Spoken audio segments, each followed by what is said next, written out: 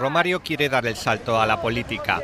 El exdelantero del Fútbol Club Barcelona aspira a conseguir un escaño como diputado federal por el Partido Socialista en las elecciones del próximo mes de octubre. Entre los objetivos de su programa electoral, la promoción del deporte entre los adolescentes brasileños. son bien simples y claras. Mis prioridades en política son muy claras. Creo que hay que utilizar el deporte como herramienta de integración social para niños y jóvenes en todo el país, especialmente en la zona de Río de Janeiro. Romario acudió hoy a un acto electoral con sus seguidores en la ciudad de Petrópolis, una localidad situada a 66 kilómetros de Río de Janeiro.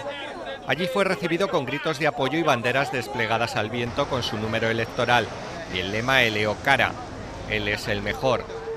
Decenas de personas se acercaron hasta él para pedirle un autógrafo, aunque el momento más emotivo llegó cuando Romario se encontró por la calle con este niño discapacitado.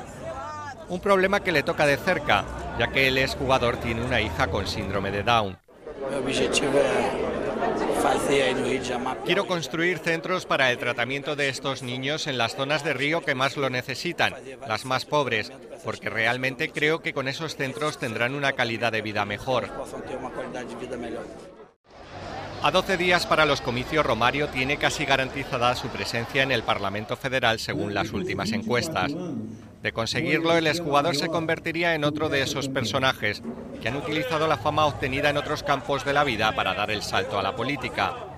Un camino que también ha emprendido en España el que fuera presidente del Fútbol Club Barcelona, Joan Laporta, y que podría seguir, según insinúan algunos medios de comunicación, el personaje quizás más conocido de todo el país, Belén Esteban.